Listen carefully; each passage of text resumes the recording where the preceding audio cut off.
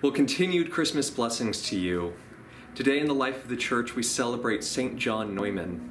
He was the first Catholic priest of America to be canonized.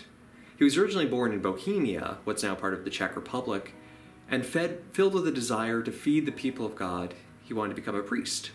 So he studied there, he passed his exams, but because there were so many priests, his bishop decided to delay his ordination. But filled with a zeal to serve the people of God, he decided to become a missionary and left for America with a little less than $200 in his pocket. Upon arriving in New York City, he became he was accepted by the bishop there and was ordained and gladly served the German-speaking immigrants in the New York region. However, continued to be filled with a missionary zeal and a desire for community, he entered into the Redemptorist order a few years after becoming a priest in New York.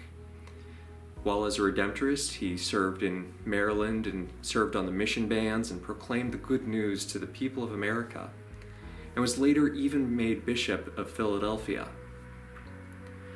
He serves as a great example to us of that desire to be fed and to feed others with the Word of God. And so it's fitting that the Gospel today is the feeding of the 5,000 from the Gospel of Mark. It shows the same desire that filled Neumann's heart that Christ showed to the people, to the 5,000 gathered there on the hill, to feed others, to care for them physically and spiritually.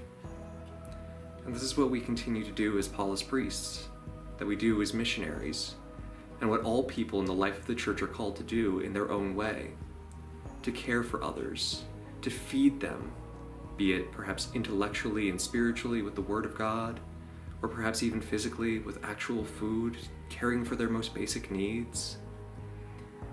Whatever they are, we're all called to this missionary life, to share the Word of God and to feed others, so we can take great resolve and great hope in the example of St. John Neumann, of seeing the way that we can reach out and feed others.